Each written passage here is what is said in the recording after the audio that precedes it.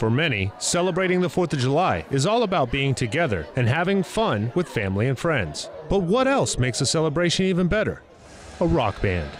We've been doing this 26 years. We've visited hospitals. We've done special stuff where wounded warriors can come in and, you know, free tickets to shows, play guitar, hang out. You know, we, whatever little part that we can do, we do.